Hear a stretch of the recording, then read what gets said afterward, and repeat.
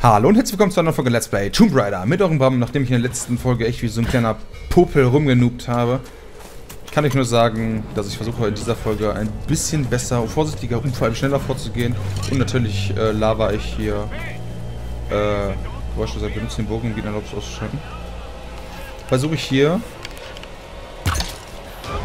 mal richtig einen rauszuhauen und diesmal nicht ganz so schlecht zu sein, wie ihr das in den letzten Folgen oder in der letzten Folge vor allen Dingen von mir gewohnt wart. So, ab da hoch, Lara, du geiles Schnittchen. wir gucken jetzt direkt mal weiter.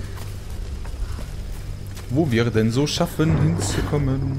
Ne, ich will sagen, rechts. Kann ich eigentlich. Ah, es geht nach oben. Was war's denn? Wieder ein Kanker? Nein, sah eher aus wie ein Forschungsschiff. Das heißt gut. Bada boom, Double Headshot. Was ist da unten los? Alles in Ordnung?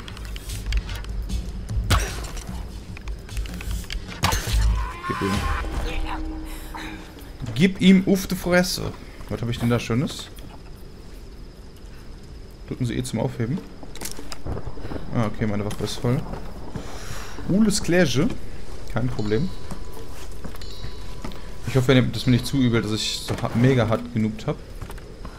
Waffenmodifizierung verfügbar. Ah, die Modifizierung Lara, später. bist du da? Ja. Bei den alten Ruinen steigt Rauch auf. Bist du okay? Oh Gott. Ross, ich habe hier echt ein Problem. Sie bringen Leute um. Was? Wer? Männer. Ich weiß nicht warum. Ich musste einige töten. Ich hatte keine Wahl. Das war sicher nicht leicht. Es war sogar erschreckend leicht. Du musst die anderen warnen, Roth. Mach dir jetzt keine Sorgen um sie. Tu, was nötig ist, um zu mir zu kommen, Lara. Ich versuch's. Ja, probieren wir es doch mal zu Ross zurückzukommen. Ein bisschen sneaky. Und stimmt, der Kill, äh, wie man auch gesehen hat, war extrem leicht. Er hat ja noch nicht mit dem Baum gespielt, der erstmal mal rumnuben ist. Und einfach nicht geschissen kriegt, vernünftig irgendwelche Gegner ähm, zu töten oder anderweitig umzunocken. Zahlen. Irgendwelche Koordinaten. Wollte jemand, dass es gefunden wird? Tja, das kann ich natürlich auch nicht sagen, wissen. Wir werden es aber schon noch herausfinden. Das ist ein Lagerfeuer. Hammer geil. Das werden wir uns... Das ist eine Höhle auch. Aber da gucke ich kurz vorher nochmal ganz schnell rein.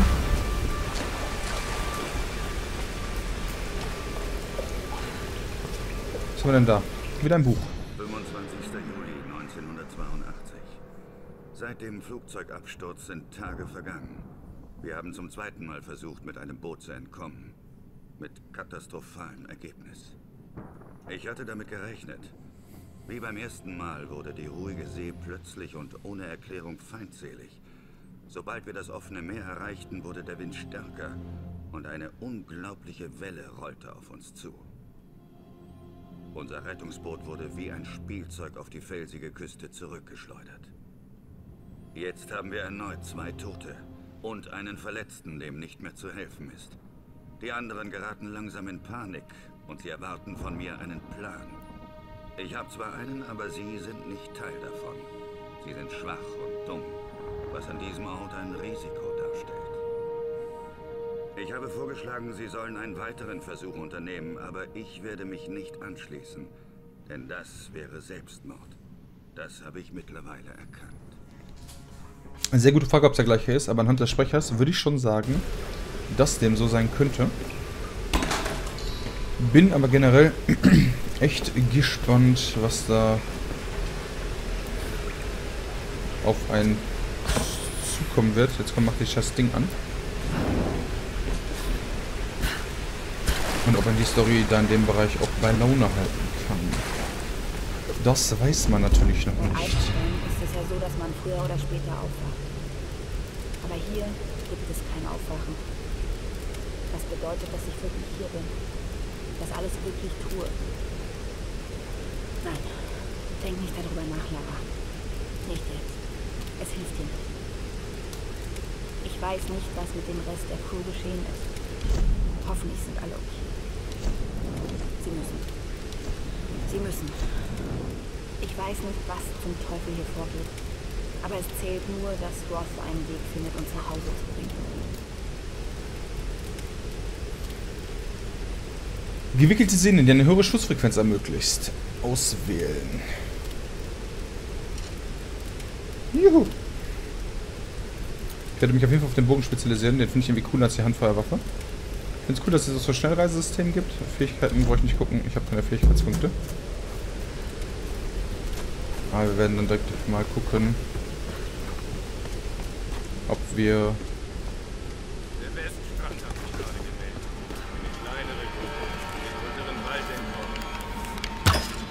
Habt ihr es gehört? Moment, ich bin auf. Warm, Junge. Nehmen wir die auch nochmal mit. Und weiter geht's hier. Schön sneaky durchmetzeln. Wir wollen ja nicht allzu sehr gesehen, belauscht oder sonst was werden. Was gibt's hier? Da kann man hoch, oder?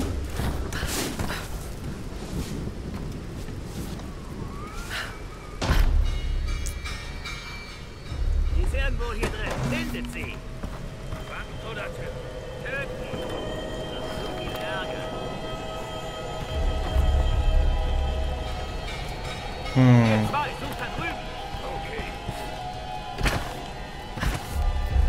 Wie nehme ich jetzt... Kann ich die abschießen? Ne, kann ich nicht. Und dann nochmal. Die nehmen wir auf.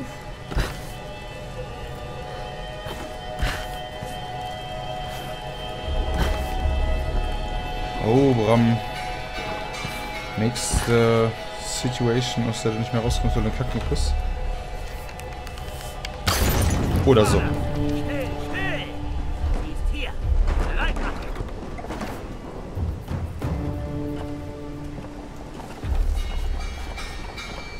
Okay. Das schien doch so irgendwie so eine Art Geheimraum zu sein oder ähnliches.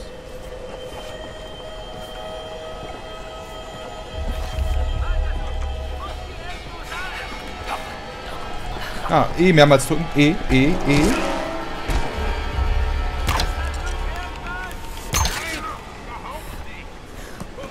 Wie sieht's aus?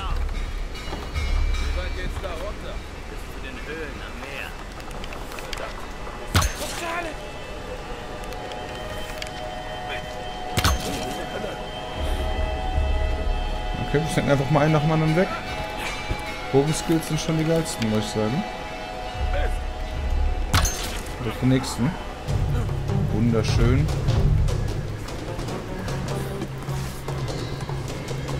Wunderbärchen. Noch schon keiner gemerkt haben, dass ich da bin. Also, die wissen insgesamt wahrscheinlich schon, dass ich da bin. Autschi. Wollt ihr mich snacken? Na komm.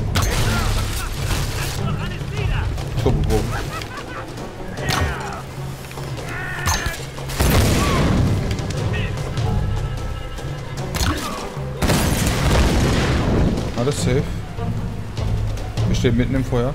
Kein Problem. Kein Problem.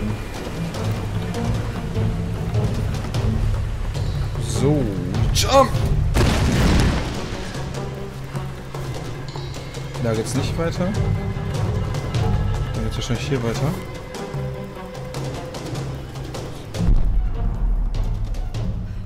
Ich sehe aber ehrlich gesagt keinen.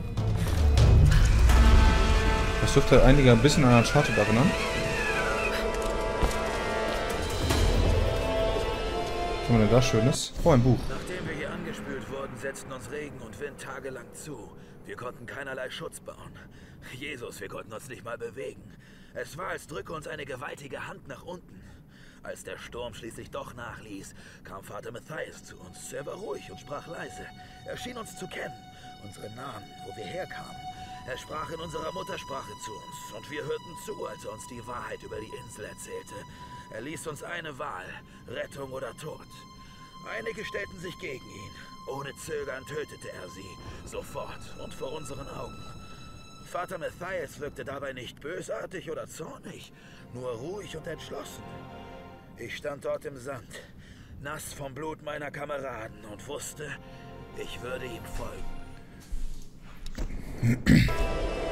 Ich muss sagen, ich glaube, dass es immer mehr der Mann ist, den wir da auch äh, gesehen haben.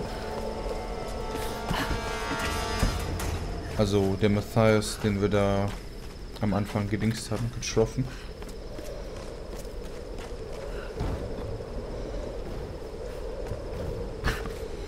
Schaffen wir den Sprung? Ja, tun wir.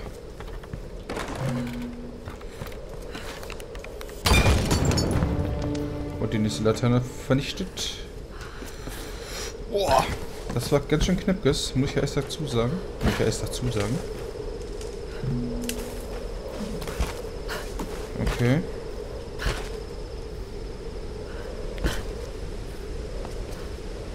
Hm, da blinkt was. Da wollen wir hin. Da blinkt was und damit wollen wir dahin. So simple ist das. Oh ja, unsere Beweggründe sind einfach. Wir wollen Loot. Zum Beispiel den Sack, der da oben war, den möchte ich auch noch haben. Immer Spaß, wie viel geiler man das hier steuern kann als auf der Playstation. Los, brenn ab. Bergungsgut, juhu! Nice one! So, was haben wir hier noch? Da haben wir nichts drin, da waren wir schon. Komme ich hier irgendwie wieder runter, ohne zu dein? Ach da, sind noch Bögen.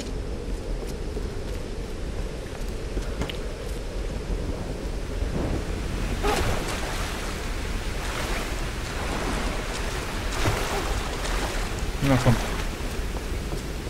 Der Sprung war dann doch deutlich tiefer, als ich dachte, wenn ich ehrlich bin. Hätte ich jetzt so auf Anhieb nicht gedacht. So. Oh, interessant, da ist auch noch ein kleines Wegchen.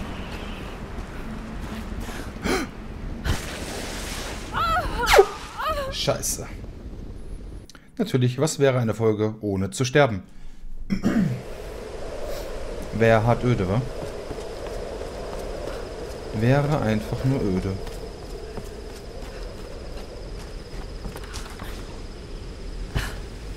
So. Da unten das kleine Kistchen, das nehmen wir noch mit.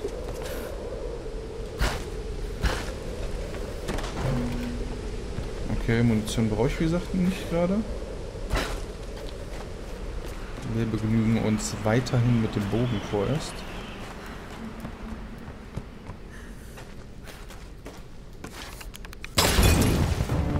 Weiter geht's. Laternchen zernichtet. Was, Bram? Du hast zernichtet gesagt. Ja, coole Kiste. Also das Erforschen lohnt sich ja wirklich. Waffenmodifikation verfügbar. Cool. Ich finde echt an diesem Teil auch ziemlich gut, respektive interessant, dass man halt die Möglichkeiten hat, ähm, naja, zurückzugehen und man, man halt ziemlich sicher weiß, wann gleich gekämpft wird und wann nicht. Das, das finde ich echt nice. Hinzu kommt natürlich Grafik, Sound. Finde ich schon geil. Bis jetzt macht es mir viel, viel, viel Freude. Ich hoffe euch auch. Lasst einen Kommentar da, wenn ich gerade so sinnfrei hier rumrenne. Oder besucht mich gerne auch mal wieder im Facebook, für alle, die schon länger nicht mehr da waren. Das ist der Brammen am Anfang des Videos, war es auch kurz eingeblendet. Wenn jetzt auch genug labert. Entschuldigung von abwegigen, abwegigen Bullshit, den keiner interessiert, weil er von mir stammt. Und wir rennen einfach mal hier den Weg entlang. Da kommen wir noch drauf. Ah, vielleicht gleich noch.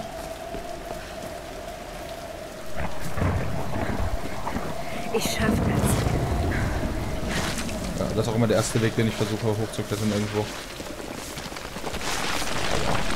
Aua, aua, aua. Weiter geht's. Komm, Lara, du machst es. Wir schaffen das.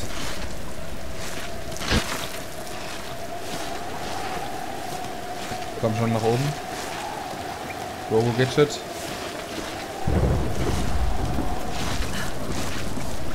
Mit dem Kurven, mit der Kurve drin, gar kein Problem. Da hier schon wieder Holz ist, war irgendwie jetzt der Standardweg, den man immer läuft, um hier hochzukommen.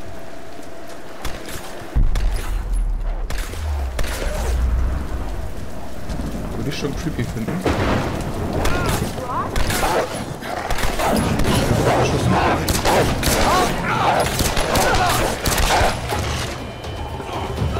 Ich komme, Roth! Aua, das Bein sieht böse aus. Gott sei Dank, du lebst. Mit Gott hatte das hier nichts zu tun. Schön, dich zu sehen, Kleines. Sorry, aber das sieht echt übel aus. So übel auch nicht. Aua. Hast du was von den anderen gehört? Nichts. Warte, was hast du vor? Die Wölfe haben meinen Rucksack. Der Sender vom Rettungsboot ist da drin. Finden wir den nicht wieder, werden wir hier nie mehr wegkommen. Aber du brauchst Verbandszeug, Morphium, Desinfektionsmittel. Alles im Rucksack. Scheiße. Du sagst es. Komm. Komm.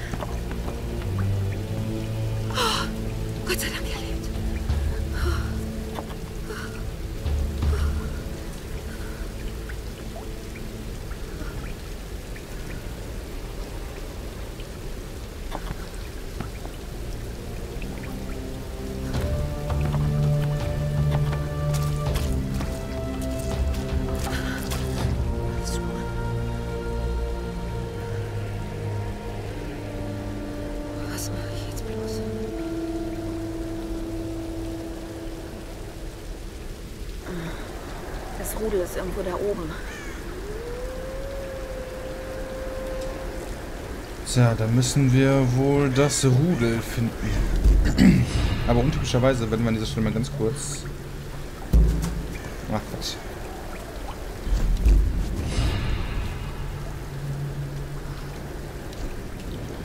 Nochmal kurz um mein Bergungsgut gehen.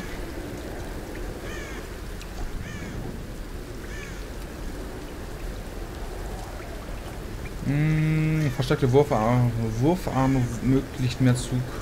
Gerne. So, gegen Wölfe können wir das gebrauchen.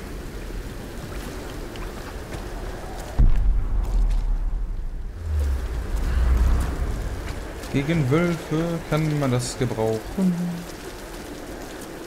Oh ja. Hm, Da sehe ich schon wieder. Dass da eine Lampe ist, die nichts zu tun hatte mit den Lampen, die ich eigentlich töten wollte. Also. Was heißt töten? Die da oben hängen, die habe ich auch gesehen. Aber meiner Meinung nach war es auch nicht die richtige. da hinten. Oh ja, ein bisschen verwirrt durch die Gegend laufen ist genau mein Ding. Na komm. Warum die die Fackeln immer wieder her hat? Naja.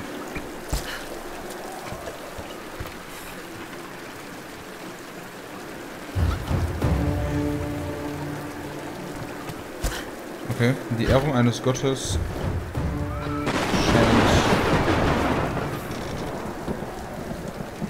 scheint, scheint positive Auswirkungen auf mich zu haben. Mal wieder Bergungsgut. Jump.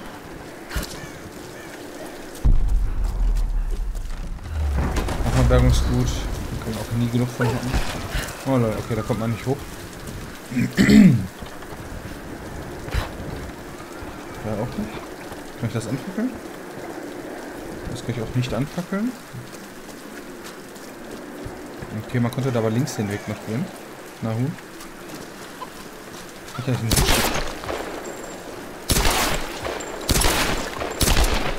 Oh, erstmal geil das Huhn snacken mit fünf Schüssen, ne? Okay, weiter, weiter. mein Gott, ey. Ich hab's auch gerade mit dem Räuspern. Ist doch zum Kotzen.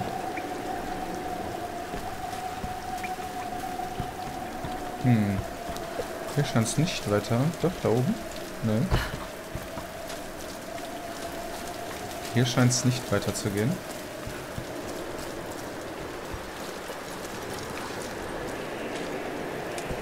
Was ist das da vorne? Da hochkommen. Mit dieser, mit dieser komischen Apparatur da. Was ist das hier? Ach scheiße, jetzt brauche ich eine Fackel. Das ist natürlich mal wieder klar. Warum schmeißt die vorher weg? Ich muss schon sagen, ich finde ziemlich cool, wie geschmeidig die Bewegungen sind. Ich hoffe auch, dass ihr mir in der letzten äh, Folge den kleinen Scherz verzeihen konntet mit dem mit der Bette McFadden Musik von der Trish Night. Aber ich finde irgendwie, dass es passt. Toll. Und jetzt?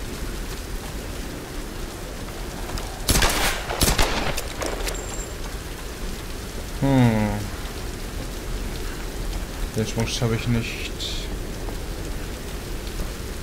Komme ich denn da dran? Nö. Da dran komme ich auch nicht. Ich kann bestimmt hier reinspringen, oder?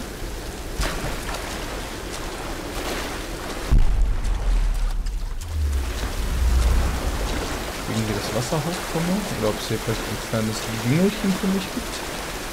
Ah, ich weiß es noch nicht. Bin voll Indiana Jones-Style irgendwie. Einfach so ruppdidupp durch den Wasserfall hindurch und schon hat man ein bisschen was gefunden, was nur... Oh, vielleicht kann ich von hier aus auf das Sachen dann über die Sicher laufen. Das sieht doch schon mal nach was aus. Zumindest als wenn das funktionieren könnte. Okay, da wollte ich eigentlich gar nicht drauf, aber... Nice. Nice, nice.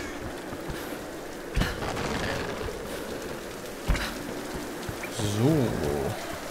Diese Ruinen. Kamakura-Periode. Gehörte das alles zu Yamatai? Tja, gute Frage. Nächste Frage.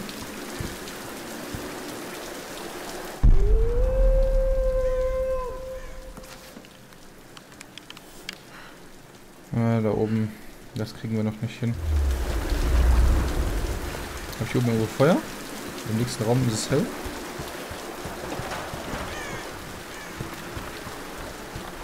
Sieht aber noch nicht so aus. Ja, ja.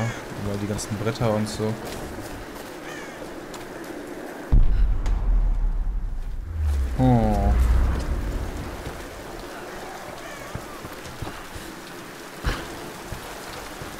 Machen wir doch mal den direkten Weg kurz zu den Wölfen. Die müssen ja so, so dann wahrscheinlich wieder darunter. Wobei, ich könnte... Ich muss noch kurz die Fackel anzünden. Um dann nochmal da reinzugehen in das Haus. Für den Sack. So, wo war der Sack? Ich habe noch einen weiter oben. Da ist er. So, Säcklein öffne dich. Nochmal Bergungsgut. Nochmal 30 schöne Bubbels. Da freue ich mich.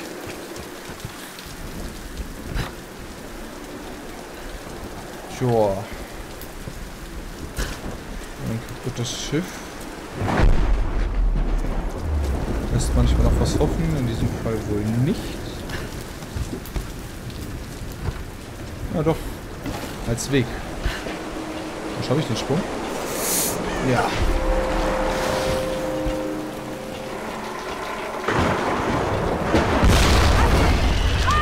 Was war das denn? Da ist gut was explodiert. Ah, cool. Die Absicher lohnt sich echt immer wieder. Kleinigkeiten, die einem das Leben eventuell später mal einfacher machen. man da rechts auch noch drückt. Nice, nice. Nice, na nice.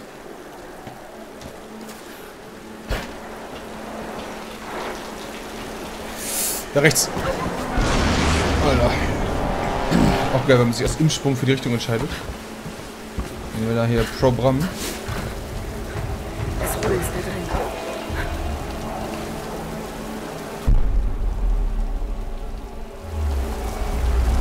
Okay, da muss ich rein. Das machen wir erst gleich. Ja, interessant, ey, was es hier nicht alles gibt. Beide Gänge, höchst interessant. Was euch darin erwartet, meine lieben Freunde, oh ja, so auch das erfahrt ihr auch schon morgen, 21 Uhr wieder, direkt nach Pete's Meets Hard Reset. Schaltet ein. Ich freue mich auf euch. Danke fürs Zuschauen. Euer Bram. Ciao.